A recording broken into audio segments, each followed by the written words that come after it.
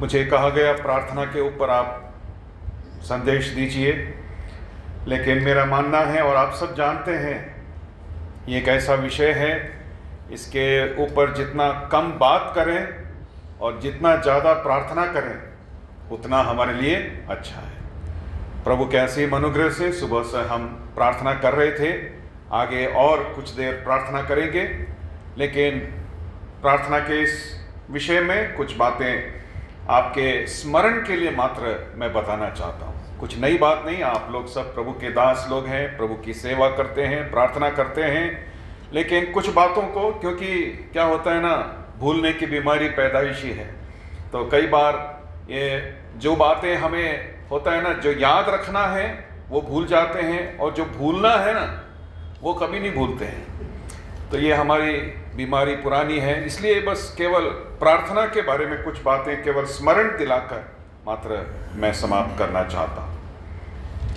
यदि आप पढ़कर मेरी सहायता करेंगे तो बहुत मेहरबानी होगी। पढ़िए मेहरबानी से मत्ती रचित सुसमाचार 26 अध्याय।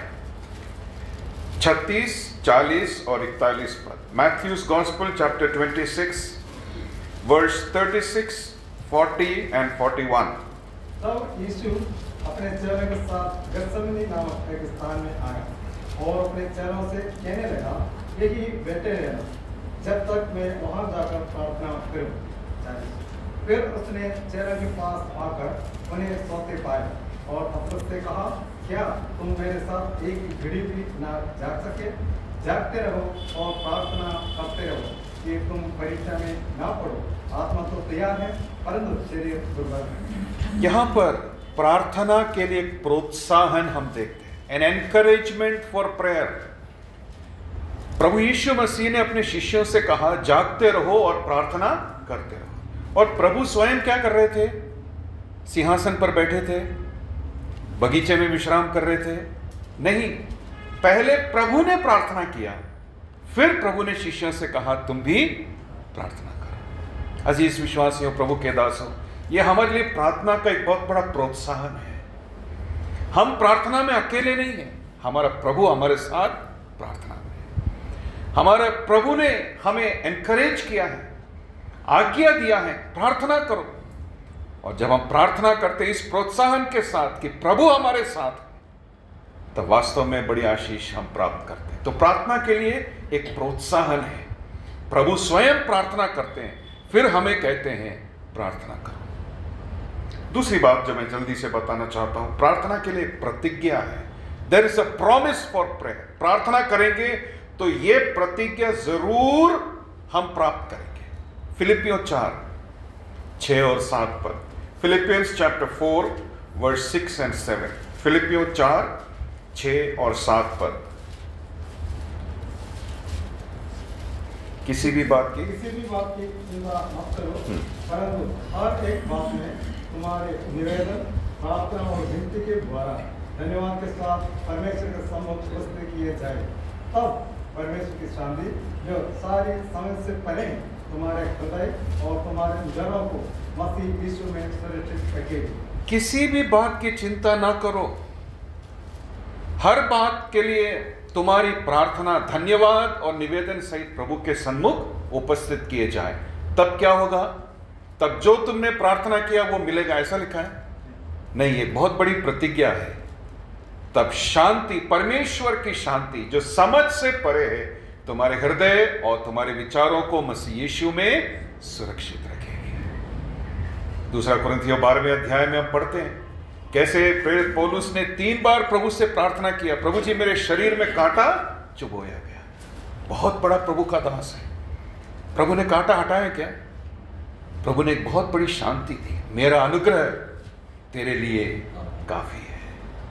अज़ीज़ विश्वासियों, प्रभु के दासों, प्रार्थना जब हम करते हैं, एक बड़ी प्रतिज्ञा प्रार्थना के पीछे है। हमारी आवश्यकताएँ पूरी हो या ना हो, परमेश्वर की तसल्ली परमेश्वर की शांति जो हमारी बुद्धि समझ से परे है, हमारे विचारों को, हमारे हृदयों को मसीह यीशु में सुरक्षित रखेगी। तीसरी बात, प्रार्थना के लिए एक अद्भुत सहायता है। There is an enablement for prayer there is a help for prayer Romeo आठ अध्याय 26 और 27 पद, रोमन्स चैप्टर 8 वर्स 26 एंड 27 रोमियो आठ हाँ। इसी रीति से आत्मा भी हमारी दुर्बलता में सहायता करता है।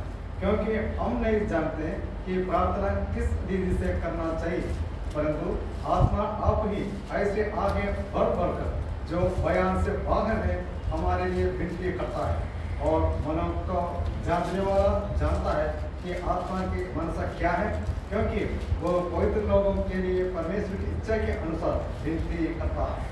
यहाँ पर 26 पद के पहले वाक्य में लिखा है, पवित्र आत्मा हमारी सहायता करते हैं। कब? हमारी शक्ति में? हमारी बुद्धि में? नहीं, वहाँ एक विशेष शब्द लिखा है, हमारी निर्बलता में, हमारी कमज़ोरी में। प्रार्थना जब हम करने जाते हैं, कई बार दिल बोझ से भरता है ना, शब्द नहीं निकलते, अपने आप को असहाय हम महसूस करते अपने आप को बहुत अदना सा, छोटा सा महसूस करते प्रभु जी, मैं क्या मांगू? मैं क्या बोलूँ? हमारी दुर्बलता में प्रभु हमारी सहायता करता है। प्रार्थना के लिए एक सहायता है। परमेश्वर का पवित्र आत्मा हमारे कमज़ोरी में, हमारी निर्बलता में, जब हम असहाय से महसूस हो, जब हम अपने आप को बहुत बौना महसूस करते हैं, अकेला महसूस करते हैं तब पवित्र आत्मा प्रार्थना करने के लिए हमारी सहायता, हमारा मददगार बनकर हमारे साथ रहता है। पढ़िए एक और पद। दूसरा कुरंथियों सात अध्याय, ये सब आप जानते हैं, लेकिन केवल स्मरण के लिए आपको बताना चाहता हूँ। चौदह और पंद्रह पद। Second Chronicles chapter seven verse fourteen fifteen क्योंकि यदि मैंने उसके सामने तुम्हारे विषय में कुछ घमंड दिखाया दूसरा इतिहास सात।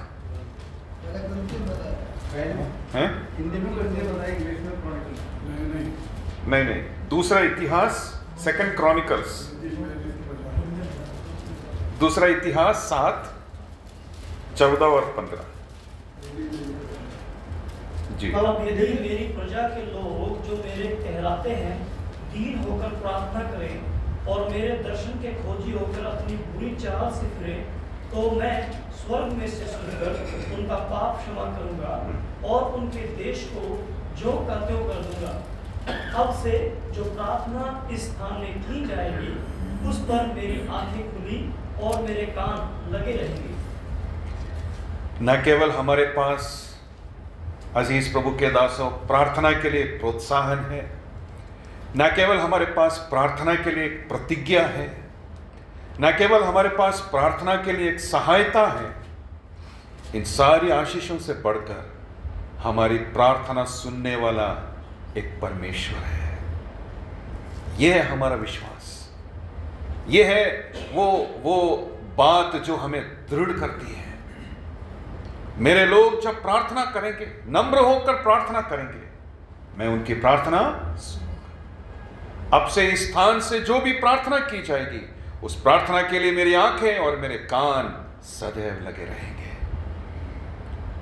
मुझे आपको बताने की ज़रूरत नहीं, हमारे परिवार में भी कई बार बच्चे, है ना, डैडी डैडी बोलकर घूमते रहते हैं। हम उनके हर डैडी को सुनते नहीं हमको मालूम है, अरे, वो तो ऐसी है, वही, बोलते हैं। लेकिन जब किसी संकट और मुसीबत में पड़ते हैं ना, तब जब वो बुलाते हैं ना, दुनिया का सारा काम डैडी छोड़कर बच्चे की सेवा में लगते हैं।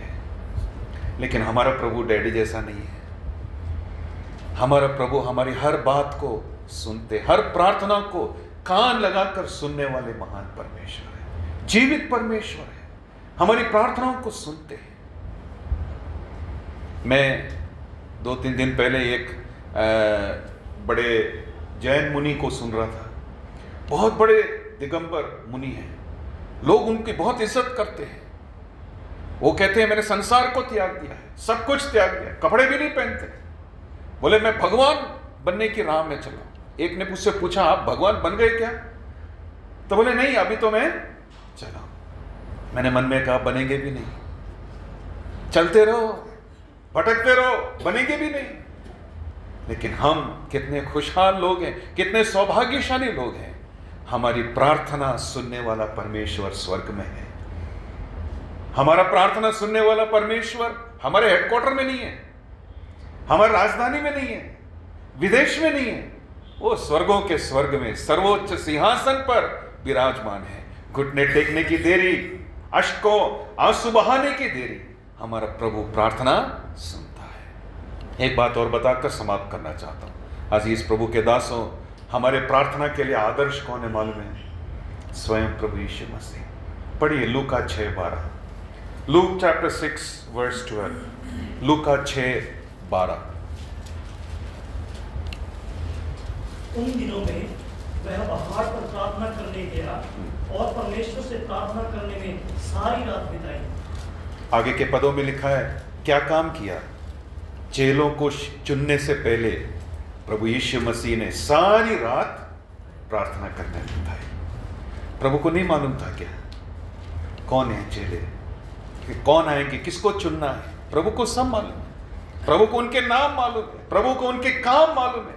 यह शायद छियालीस अध्याय, उसके दस पद में हम पढ़ते हैं, परमेश्वर अंत की बात को शुरू से ही जानने वाला परमेश्वर है।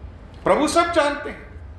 पत्रस ऐसा करेगा, यहूदा इसकरियोती ऐसा करेगा, यूहन्ना ऐसा करेगा, याकूब ऐसा करेगा, बोलेगा, प्रभु को सब मालूम है।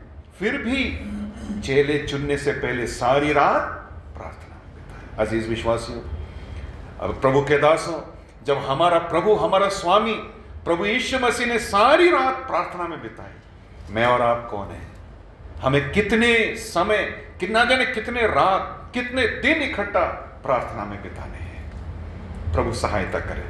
हमारा प्रभु प्रार्थना सुनने वाला महान परमेश्वर, हमारी हर बात के लिए, हमारे हर काम के लिए, हमारी हर आवश्यकता के लिए हमारे हर तकलीफ़, बीमारी के लिए, हमारे हर बात के लिए हम प्रभु से प्रार्थना कर सकते हैं।